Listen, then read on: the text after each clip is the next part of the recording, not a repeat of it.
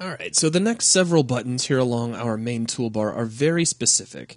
They include Allow Translucent Selection, Toggle Brush Polygons, Lock Prefabs from Selection, Enable or Disable Socket Snapping, and Particle System using LODs in the Perspective Viewport, which is a really long tooltip.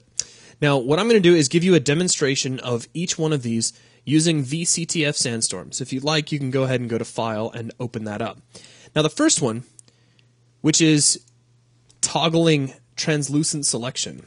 I'm going to demonstrate this by coming over here underneath this little bridge covered area, and I'm going to open up the content browser.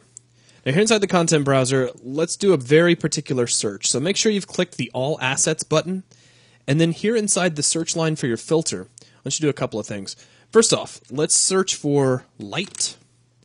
And then let's narrow this down by clicking on only static meshes. So check little static mesh checkbox. If you scroll down here to the bottom, you're going to see a couple of volumetric static meshes, kind of for spotlights and volumetric lighting.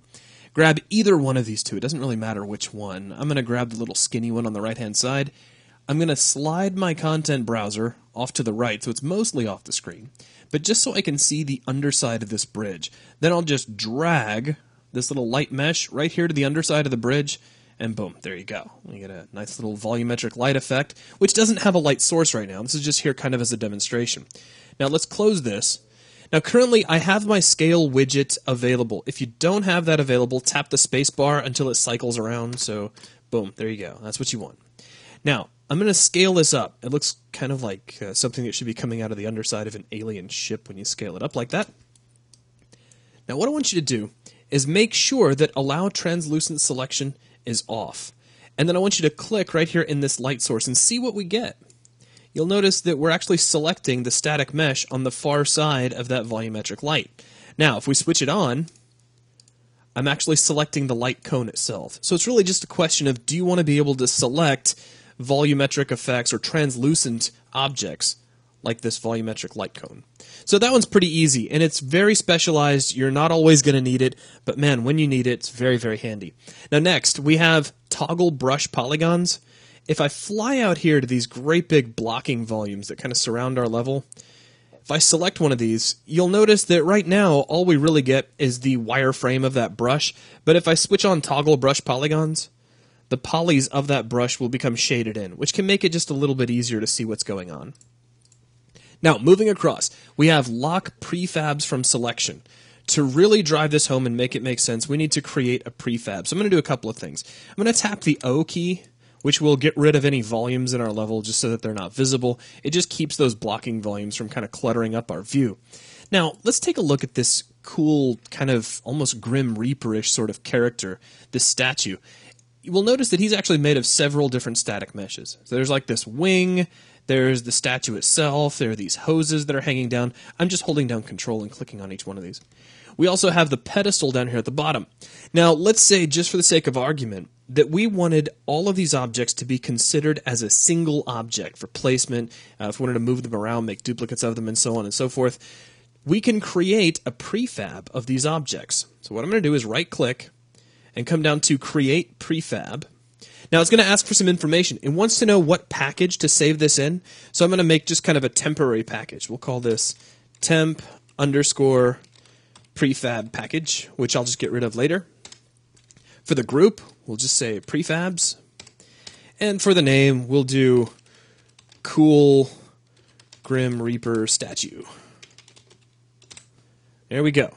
Now we click OK, and we're going to get another message that says, Would you like to replace these actors with an instance of the new prefab? Why, yes, yes, I would. So we click Yes. Our static meshes are now gone, and we now have a prefab. So now we, if we select any one of these, currently we can actually still select the static meshes. If we click Lock Prefabs from Selection, however, selecting any one of these objects will select all of them simultaneously. So it's just a question of whether or not you want to be able to select the individual parts of a prefab or the entire prefab as a whole. Now, if we switch out of game mode, and if I navigate here inside the base of this mesh, we also get a little prefab icon.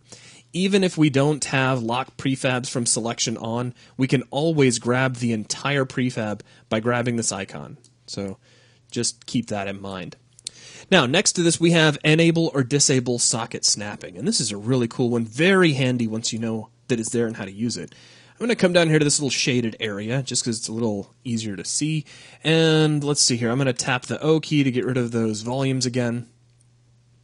And let's come over to our content browser. This time, I'm going to clear out everything in my search line. So just go ahead and click the clear button. Make sure again that you are looking within all assets.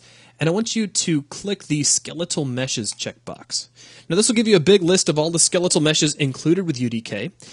Let's grab the SKCH Iron Guard Male A skeletal mesh. So let's just select this guy. And let's just drag and drop him right here onto the ground. Now, when he comes in, by default, he's kind of sticking halfway through the ground. So I'm going to tap spacebar to get my translation widget, and we'll pick him up into the air. He doesn't necessarily have to be sitting right on the ground. I mean, if he's hovering right above it, that's okay. No big deal. Now, let's say we wanted to give this guy a gun. He, let's say he's a skeletal mesh that we're going to be animating in Matinee, but for our animation, he has to be holding a weapon. Well, here's the thing a weapon, in this case, let's just pick on a shock rifle. So here's our shock rifle. It's SKWP Shock Rifle 3P. And The 3P stands for third person. You don't want to use the first person model. So I'll grab the 3P version, and I'm just going to drag that onto the ground right next to our guy. How do we get our skeletal mesh, this guy, to hold on to the shock rifle? You could spend a while trying to position and get things lined up, but then you need to attach it, and there's a lot of different steps you'd have to take. Fortunately, socket snapping deals with the problem for us. If we switch on socket snapping, all of the sockets of our skeletal meshes suddenly become active. All we have to do is select our shock rifle and then click where we want it to go. So let's click on the socket right here next to our little guy's right hand, and boom, check it out. The shock rifle jumps right into his hand. It's already attached, and if we were to animate this skeletal mesh at this point, the shock rifle would move along as if he were actually holding it. So it's a real quick and easy way to deal with the problem of getting an, a character to have some object attached to a socket. Now, the last one of these little specialized buttons is the select to have particle system use distance LOD in the perspective viewport. That's a really awesomely long tooltip. Now, to show this off, I'm going to fly the camera way out here into this little kind of no man's land where players aren't supposed to go.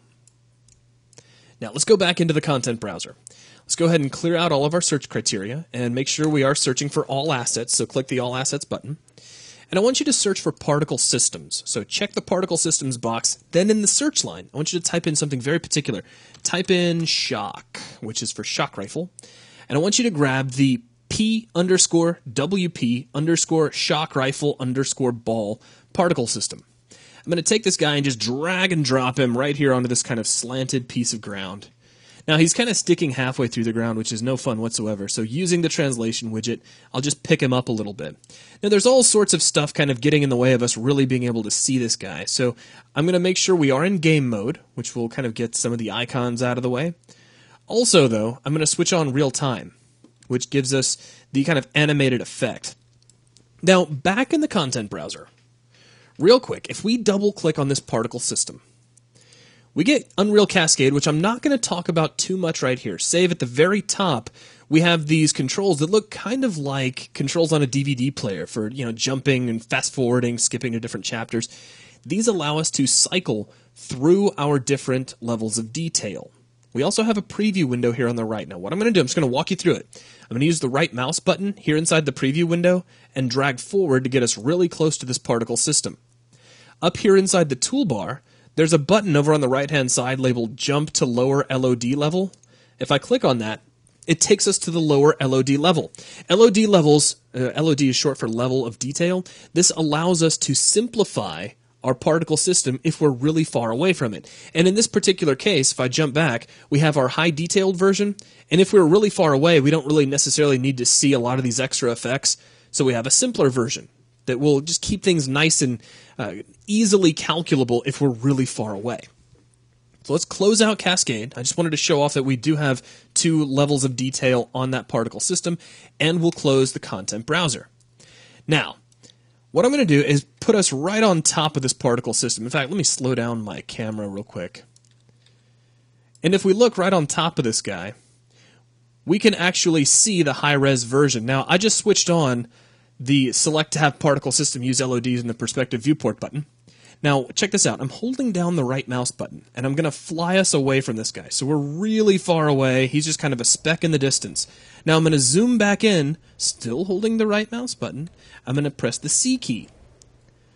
See? He's lost those little dark rings. As I start to move closer to him, boom, you see him pop right into existence, and then pop out. There you go. So it's just a way that you can preview those levels of detail. So very, very handy. Also shows a, a, nice way to use the zoom feature on your camera as well. So that's a quick walkthrough. The allow translucent selection, toggle brush polygons, lock prefabs from selection, enable and disable, excuse me, enable and disable socket snapping, and then finally our particle system LOD preview button. So that's going to wrap things up for this video. Thanks a lot.